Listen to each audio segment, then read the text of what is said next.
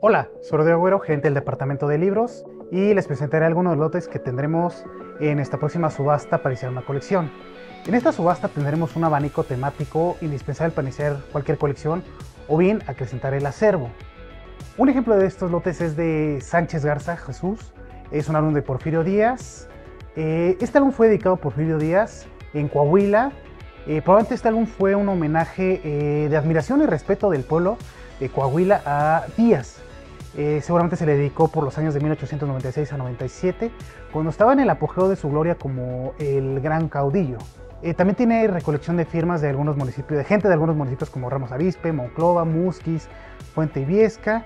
Y una curiosidad de este lote es que una de las notas menciona que me consta que este álbum fueron de estudios por una de las hijas de don Porfirio Díaz antes de deshacerse de él. El suscrito lo adquirió recientemente por medio de compra y por mantener las firmas de su parte firma Jesús Sánchez Herrera. Otro de los dotes a destacar es Serat Mythic, un curioso manuscrito javanés en abecedario latino con dos amanuenses diferentes que contiene la historia de la primera casa real de Java. Versa sobre el sultán Agung, primer sultán del sultanato de Mataram, entidad política que rigió entre los años 1613 y 1645. Durante su mandato, Mataram se convirtió en el poder hegemónico de Java o Indonesia Casualmente, el 3 de noviembre de 1975 fue declarado héroe nacional de este país. De Santiago Ramírez tenemos eh, la noticia histórica de la riqueza minera de México y de su actual estado de explotación.